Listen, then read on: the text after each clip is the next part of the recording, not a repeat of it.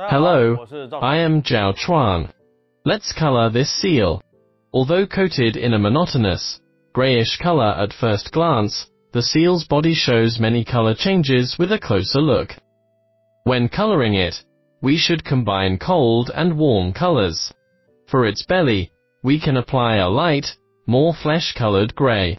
Its back is overall gray, somewhere between black and white. If you look closely at the seal coat, you will find a brown color transitioning between black and white, making it look brighter in this location. When coloring the ice, we should emphasize creating a sense of volume. When the sun hits, some of the ice will be in the shade, the seal will cast a shadow on the ice, and the seal's belly will also be in the shade. We will focus on the relationship between these layers of shadings. Now, let's get started. We first fill the lower part of its body with light flesh as the undertone. Outline the whole area to be flesh-colored first.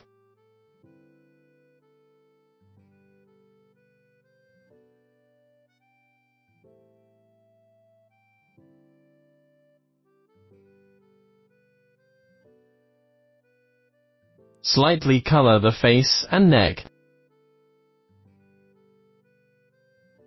Then, on the chest and the relatively round and bulging parts of the belly, outline some highlights first, and their inside parts should be uncolored. Now, we fill in the color around them. We can also draw a small highlight here on the underside of the neck to make the body look sleeker and shiny.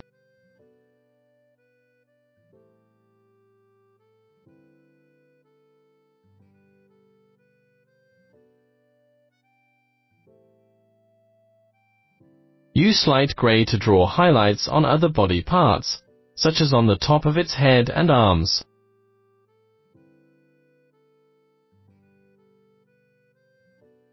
We can place a few more highlights on the arm and its back.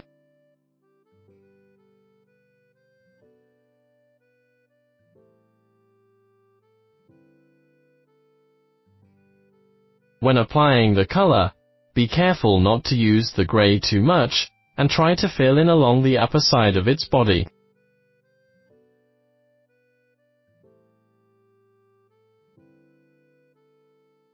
We can also leave some highlights in these folds on the neck, but there is no need to apply this color too much.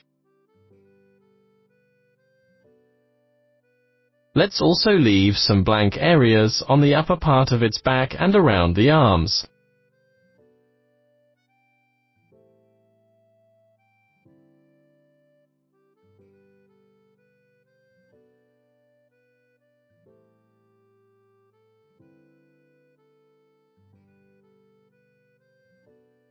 As we did not draw any highlights on the belly, we can leave a stripe uncolored near the edge.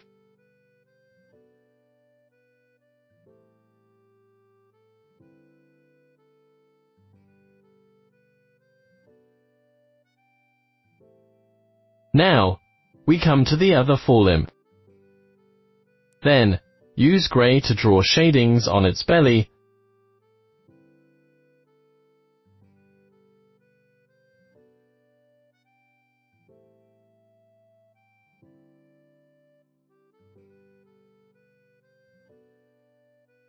and show the shadings in these folds.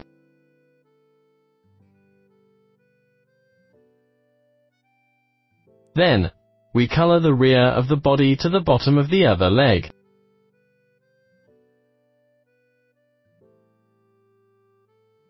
Next, let's use orange to slightly embellish the transition between dark and light colors on its body, giving it an overall warmer feel.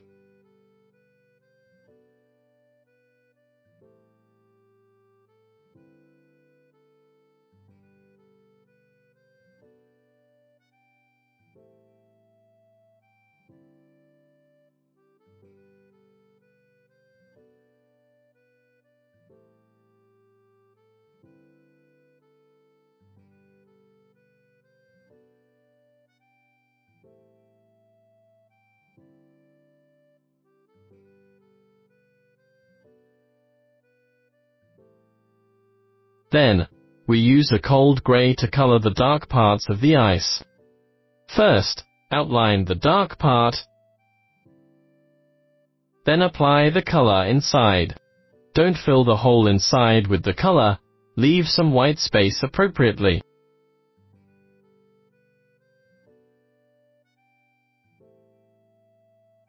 Then, the shadow underneath the seal's body.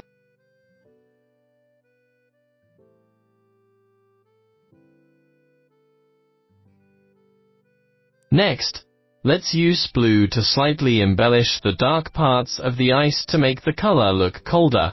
Also, don't fill this blue too airtight, but make the picture a little breathable.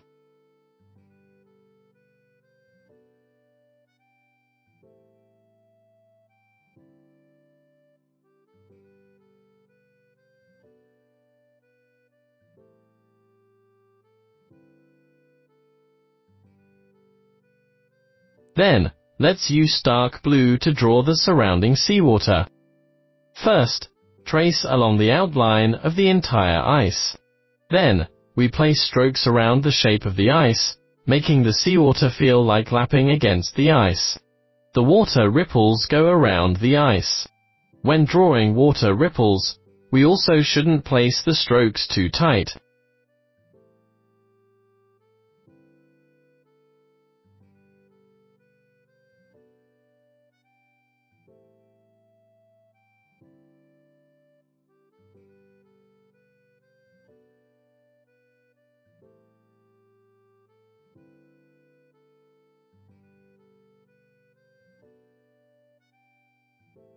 Apply the same blue for the seawater to add dark colors to the ice, especially in its dark area, to create a transparent feeling.